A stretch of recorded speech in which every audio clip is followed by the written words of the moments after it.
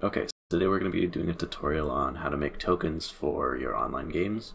You can use them in Roll20, Fantasy Grounds, whatever else that you use. Um, and in order to keep this like 100% free, I'm going to be using GIMP. And so first thing that we're going to do is head over to uh, the internet and find an image of a token that we want to make. So um, let's let's make a scarecrow.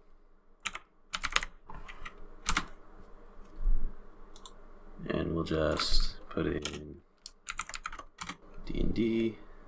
Uh, let's use this one. This is one of the official uh, Wizards of the Coast art pieces.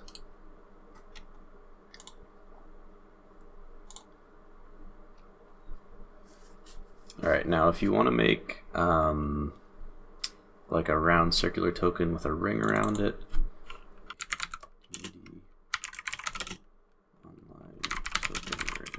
let's find something for that. And we've got some more options here too. This one's kind of nice, it's simple. This one looks actually pretty good. Why don't we try this one?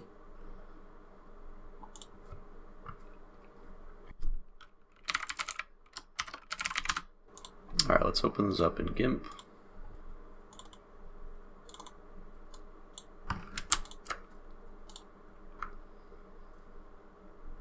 Alright, now let's check and make sure that this isn't as messy as the other one was. Yeah, there's, I mean, there's the shadow here, which is fine. And the outside looks good. There's a bit of a shadow here, that's fine as well. The other one had just kind of like a haze, sort of a semi-transparent layer through the whole thing, so that's not what we want, but this looks good, so we'll use this. Now, if we wanted to change the color of the ring, um, we can just go here, go to color balance, and then you can do this in the shadows, midtones, or highlights. I'm not sure if there's a way to do all three at once. Anyways, if we wanted to say make this into a red token, we could go ahead and start pushing it more towards the red. You can see the highlights aren't really changing much. It's more the middle stuff because we're doing the midtones right now. So we'll go to the shadows, change those more towards red, and then the highlights. And that's going to become a little more orange. Maybe push this to the yellow side and then maybe some magenta. That'll give us a nice orange hue. That looks pretty good. So you can do that with any color, you know, uh, kind of fiddle around with the settings a little bit. If you end up with something you don't really like, you can just undo it because uh, it does all three at once. So we'll leave it this color for now though.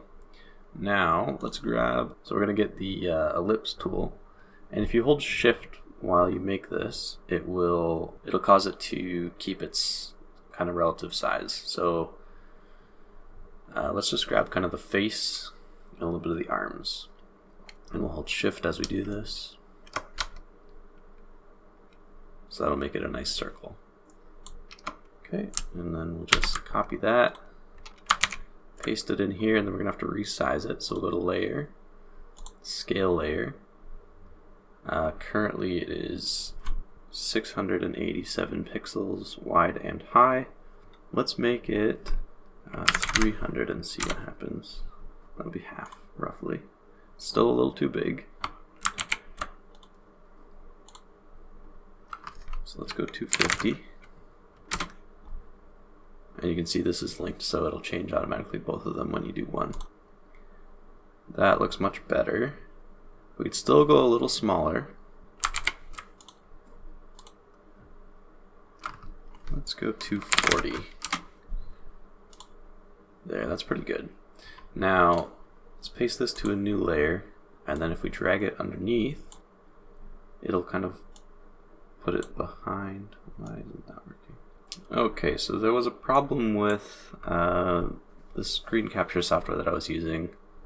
It was interfering with the function of GIMP for some reason, so I wasn't able to drag the layer. But normally you can just drag this layer down, and it'll go behind the the other layer.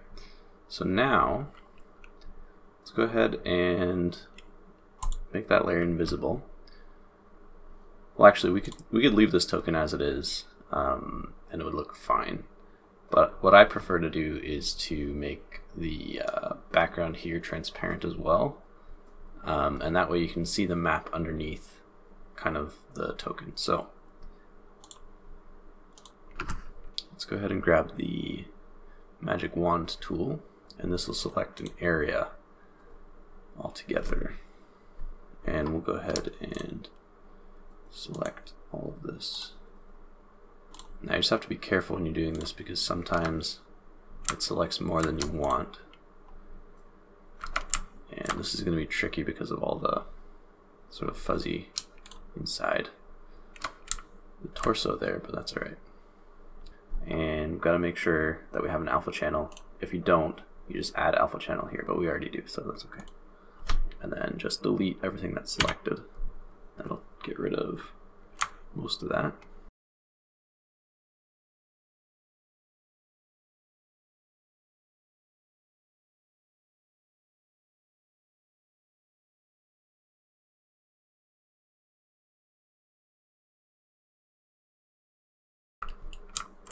Yeah, that's pretty good. It's not perfect, but good enough for now. So let's go ahead and make that visible again. And then we can just export this. And we can export it as a PNG uh, to make sure that we keep that alpha channel so there's some transparency. And now you got your new token. And I don't recommend merging these layers because if you want to make another one with the same ring, you can just delete this layer and you can go ahead and start over with a new image. So that's kind of a quick and dirty how to make these. Anyways, that's all I've got, so I hope you enjoyed it, and thanks for watching.